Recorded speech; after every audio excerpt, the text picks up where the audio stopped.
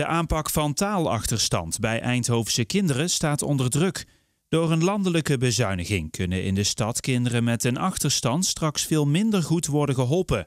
Volgens de gemeente en basisscholen is de bezuiniging funest. Kinderen onder de vier jaar die nog niet naar school gaan, hè, die kunnen dan wel opgevangen worden.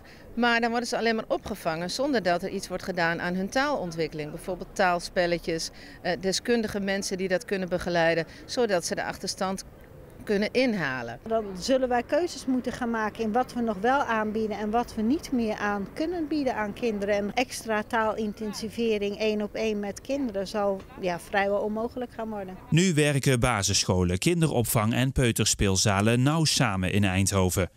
Kinderen met een taalachterstand worden opgespoord en ze worden begeleid om de achterstand weg te werken.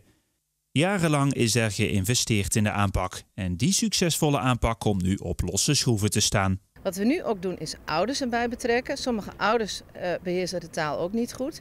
Nou, we hebben programma's in Eindhoven waar ouders en kinderen samen hun taal verbeteren. Ook heel belangrijk. En tenslotte, we hebben ook nog een programma in Eindhoven dat je in de lange zomervakanties ook iets doet om de taal uh, op peil te houden en beter te ontwikkelen. Want anders dan zakt het heel snel terug. Zoals wij nu aan alle kinderen het goede onderwijs bieden zoals we dat hebben, dat we dat in feite niet meer kunnen doen. Omdat de korting in totaliteit te groot zal gaan worden.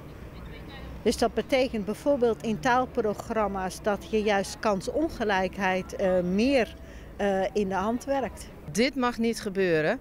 En het ministerie zelf is ook op pad met een gelijke kansenalliantie. En dan zeggen we nou, als je gelijke kansen wilt geven, moet je hier niet gaan bezuinigen.